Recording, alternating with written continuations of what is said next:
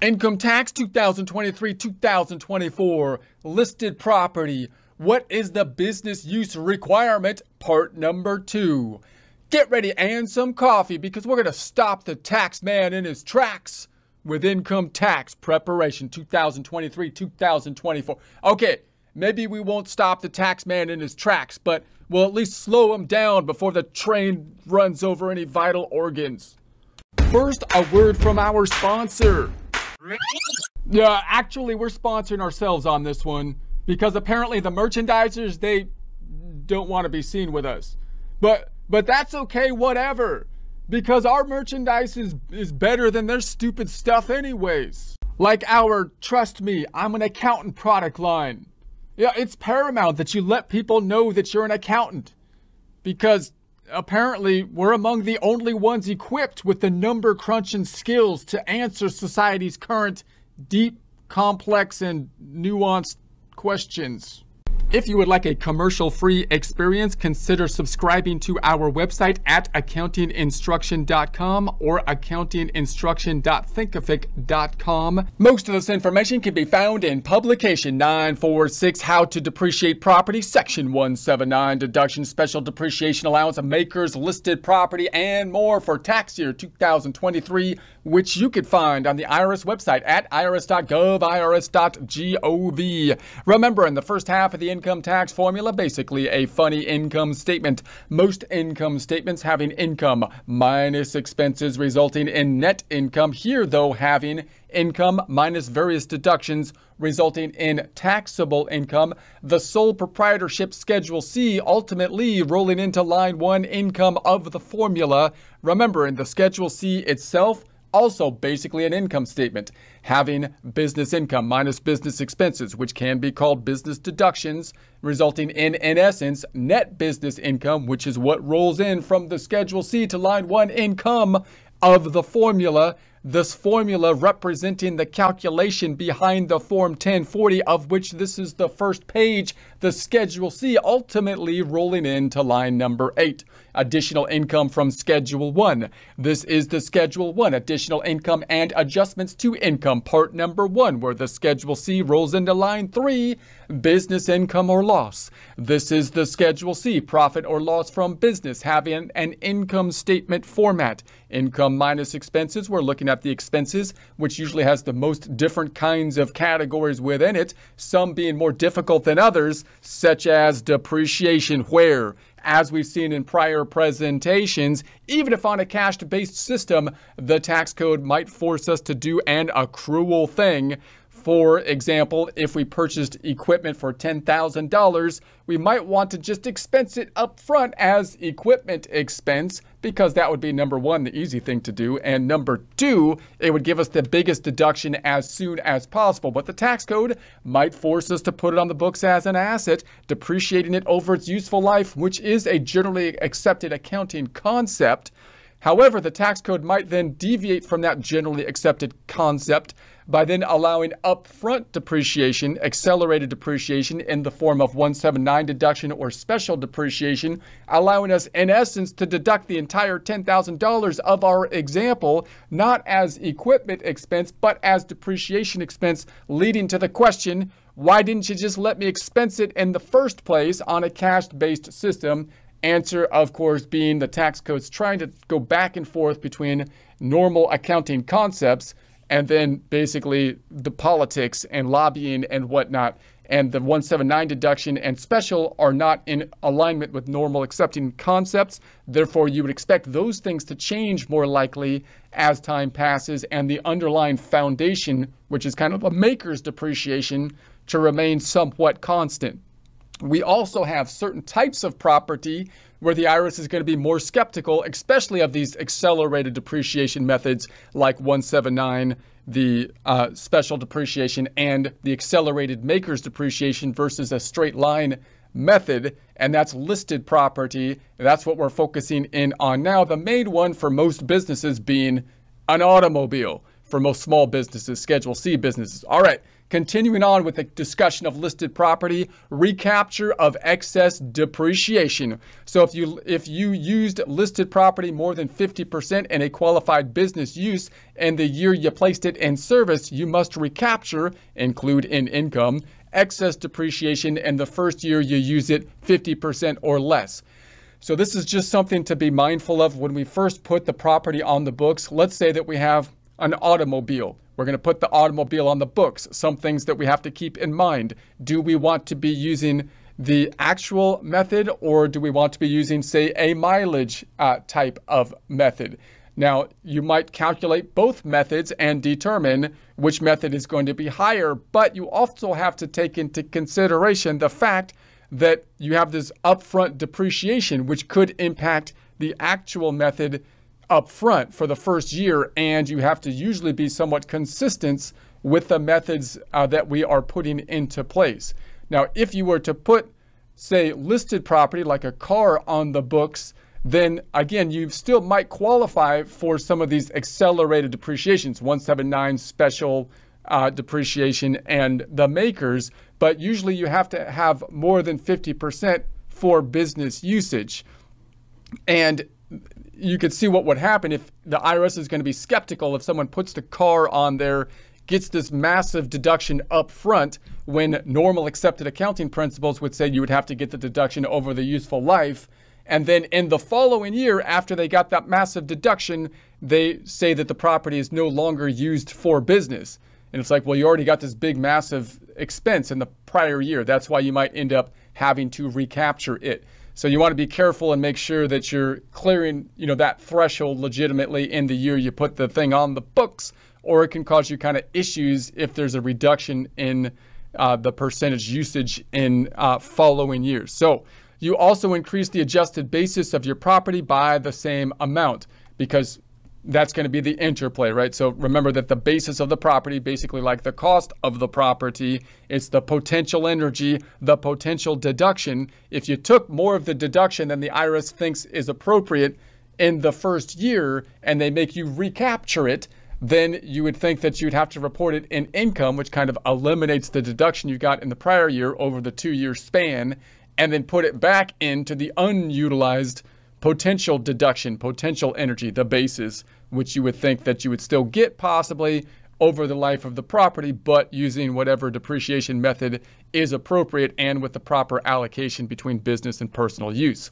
So excess depreciation is the depreciation allowable for the property, including any Section 179 deduction and special depreciation allowance claimed for years before the first year. You do not use the property predominantly for qualified business minus the depreciation that would have been allowable for those years if you had not used the property predominantly qualified business use in the year you placed it in service. So the question would be if you're in that situation, software would help with the calculation, hopefully.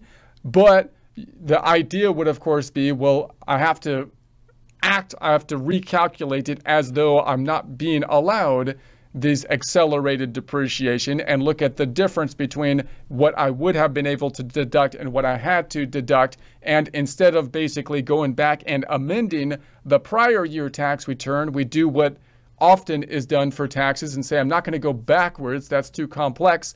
That's too messy.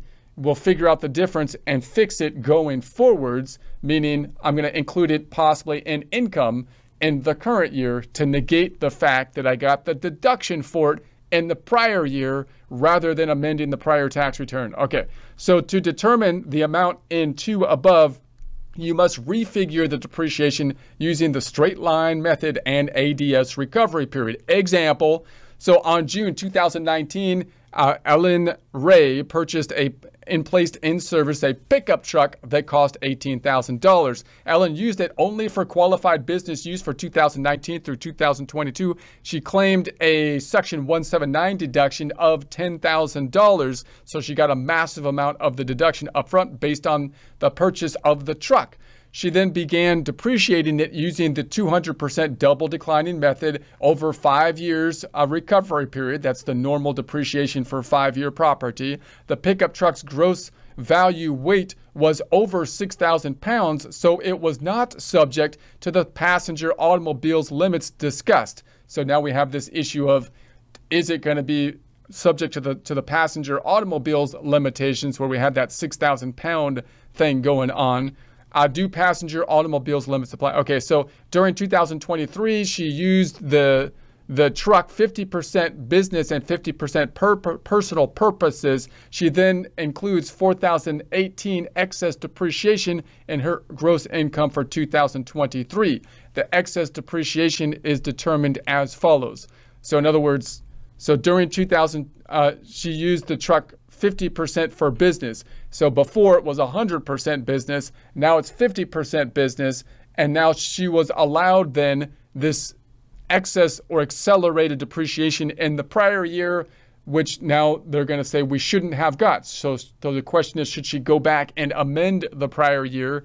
No, we're going to try to fix it basically going forward by recording it in income uh, in the current year. So she so includes 4,018 excess depreciation in her gross income instead of fixing instead of going back and adjusting the deduction in the prior year. All right, how does it work? Total Section 179 deduction $10,000 and depreciation claimed 6,618 for 2019 through 2022. So then minus depreciation allowable tables. So now we're, we're looking at the tables to calculate the depreciation that should have been calculated without that. And then we can look at the difference between the two. And that's how they're coming out without 4,018. Okay. So if Ellen's use of the truck does not change to 50% for business and 50% per personal purposes until 2025, there will be no excess depreciation. The total depreciation allowable using Table 8A through 2025 will be 18,000, which equals the total of the Section 179 deduction and depreciation Ellen would will have claimed. So in other words, this whole thing is a is is kind of like a timing difference uh, and and so so we have to take that into consideration when we're doing these uh, calculations. But in any case, where to figure and report the recapture. So once we were to figure the recaptured amount, then we have to record it basically in income. That's a weird thing to have, weird type of income. Where does it go? So use form 4797 part 4 to figure the recapture amount. Report the recapture amount as other income on the same form or schedule on which you took the depreciation deduction. So for example, report the recapture amount as other income on Schedule C, Form 1040, if uh, you took the depreciation deduction on Schedule C. So it would make sense that it would be on the Schedule C, one, because it's business related. And two, if it was in other income on like Schedule 1 or something like that, then it might not be subject to, say, Social Security and Medicare. Whereas you would think because we're trying to, to, negate an over deduction in the prior year by including it in income. You got a deduction that was also subject to Social Security and Medicare in the prior year because it was on the Schedule C, basically. So you would think that you would have to include it on the Schedule C here, and the income would be subject not only to income tax, but possibly to Social Security and Medicare. So if you took the depreciation deduction on Form 2106, report the recapture amount as other income on Schedule 1, Form 1040 line 8Z. Lessee's inclusion amount. If you use least, uh, least listed property other than a passenger automobile for business investment use, you must include an amount in your income in the first year your qualified business use percent is 50% or less. Your qualified business use percent is the part of the property's total use that is qualified business use defined earlier for the inclusion amount rules for a leased passenger automobile. You can see leasing a car in chapter 4 of publication 463. The inclusion amount is the sum of the amount A and B uh, described next. However, see the special rules for the inclusion amount later if your lease begins in the last nine months of your tax year or if uh, or is for less than one year.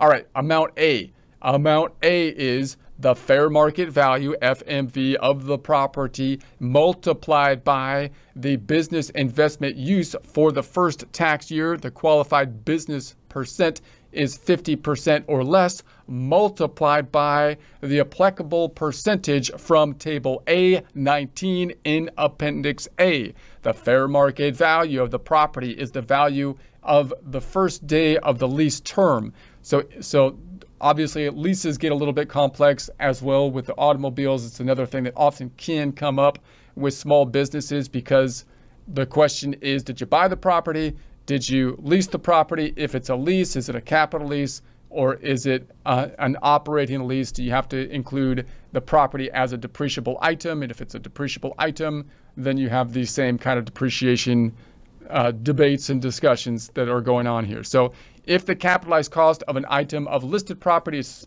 is uh, specified in the lease agreement, you must treat the amount as the fair market value. Amount B, amount B is the fair market value of the property multiplied by the average of the business investment used for all tax years the property was leased uh, that precede the first tax year. The qualified business use percent is 50% or less multiplied by the applicable percent from table A20 in Appendix A. All right, maximum exclusion amount. So the uh, maximum inclusion amount. The inclusion amount can't be more than the sum of the deductible amounts of rent for the tax year in which the lessee must include the amount in gross income. Inclusion amount worksheet so the following worksheet is produced to help you figure the inclusion amount for least listed property. So here's your worksheet, inclusion amount. You got the fair market value, business investment use for first year, multiply them. This is the rate or percent from the table uh, 9 or A19, multiply line 3 by line 4. Obviously, hopefully, software can help us with these calculations as well. Line 6, fair market value, average business investment use for years property leased before the first year business use is 50% or less, multiply 6 by 7, the rate from table A20, multiply line 8 by line 9, this is the amount, uh, this is amount B, and then add line 5 and line 10.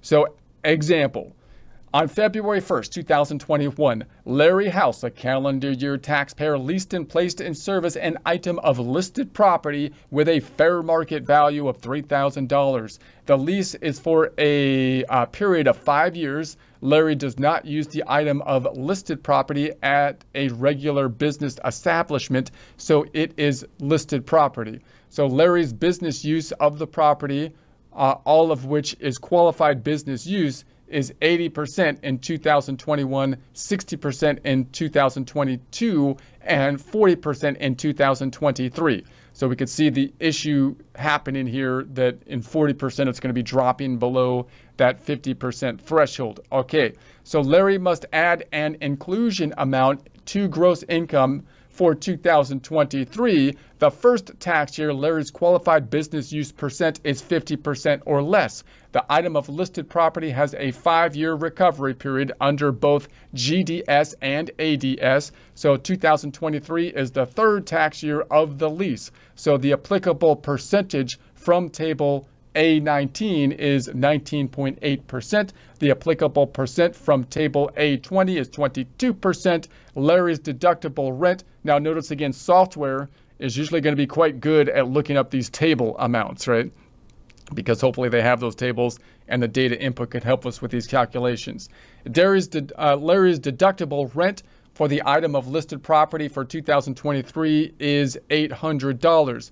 Larry used the inclusion amount worksheet to figure the amount that must be included in income for 2023. Larry's inclusion amount is 224, which is the sum of uh, 238 amount A and 462 amount B. That was a negative 238.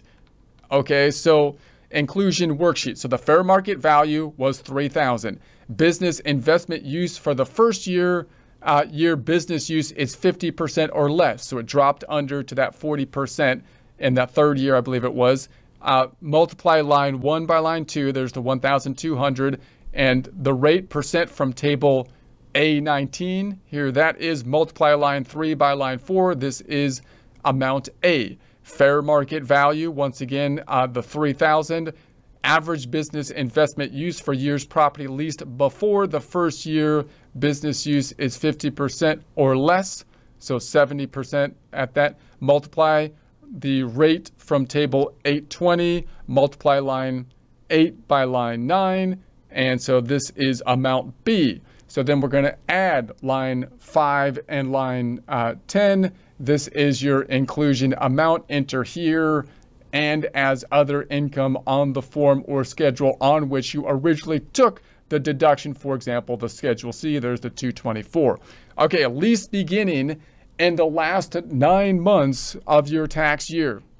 So the inclusion amount is subject to a special rule if all the following apply. The lease terms begin within nine months before the close of your tax year. Uh, you do not use the property predominantly, more than 50%, for qualified business use during that part of the tax year, so the lease term continues into your next tax year. Under these special rule, add the inclusion amount to income in uh, the next tax year. Figure the inclusion amount by taking into account the average of the business investment use for both tax years, line 2 of the inclusion worksheet, and the applicable percent. So again, we're getting a little bit technical on the details. I'm not going to go into that one in detail. So lease for less than one year. So a special rule for inclusion amount applies if the lease term is less than one year and you do not uh, you do not use the property predominantly more than 50% for qualified business use. The amount included in income is the inclusion amount figured as, as described in the preceding discussion multiplied by a fraction. The numerator of the fraction is the number of days in the lease term, and the denominator is 365, the days in the year, or 366 in a leap year. So the lease term for listed property includes options to renew if you have two or more successive leases that are part of the same transaction or a series of related transactions for the same or substantially similar property, treat them as one lease. So I'm not going to go through the example on that one. That's somewhat of a specialized area. Where to report the inclusion amount. Report the inclusion amount figured as described in the preceding discussion as other income on the same form or schedule on which you took the deduction for the rental costs. So you would think that would probably be the Schedule C for the same reason that we looked at before, because we're adjusting for an excess expense in the prior year by not amending the prior year, but including it in income in the current year. And because the deduction was subject not only to income tax, but also a benefit for Social Security because it was on the Schedule C, you would think you would have a similar situation on the income and have to be on the Schedule C, and that would be bad, right, causing more taxes, not just for federal income taxes, but possibly Social Security and Medicare self employment tax. So, for example, report the inclusion amount as other income on Schedule C, Form 1040, if you took the deduction on Schedule C. If you took the deduction for rental costs on Form 2106, report the inclusion amount as other income on uh, Schedule 1, Form 1040, line 8Z.